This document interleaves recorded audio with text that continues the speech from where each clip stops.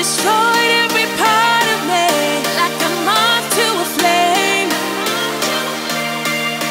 It's so clear.